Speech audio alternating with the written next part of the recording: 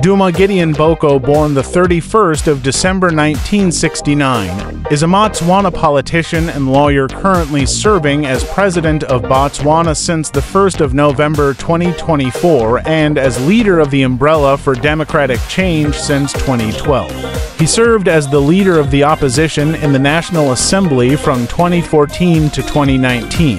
Duma Boko attained the presidency of the BNF in 2010. He led the creation of the Umbrella for Democratic Change, an alliance of the main opposition parties in Botswana.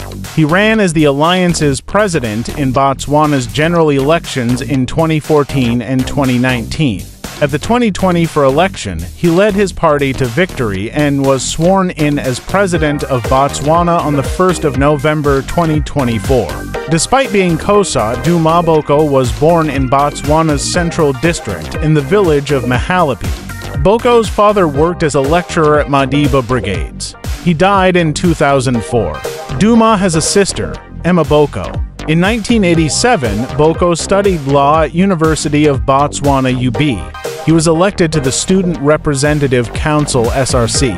Among his law classmates were High Court judges Michael Leburu, Keating Bengbame Sechele, and Lot Moroka.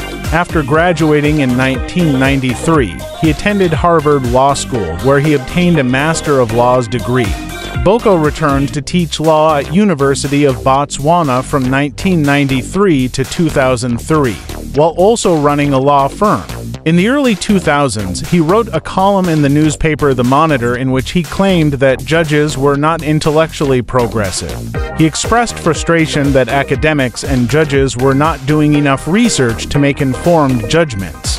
Boko became the leader of the Botswana National Front BNF in 2010. His position and party membership was challenged on the grounds that when the BNF split in 2000, he had become a founding member of the National Democratic Front NDF. He inherited a party that was in decline under the leadership of Ots Moupo. The BNF came together with the newly formed Botswana Movement for Democracy BMD, a splinter of the Botswana Democratic Party and the Botswana People's Party to form the umbrella for democratic change.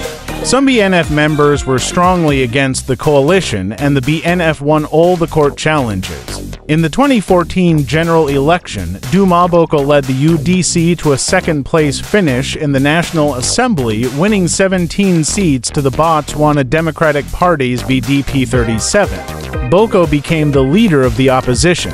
In the 2019 general election, Boko was defeated by Anna Mokgethi of the BDP in the Gaborone Bonnington North constituency. As a result of his defeat, he lost his title of leader of the opposition in the 12th National Assembly.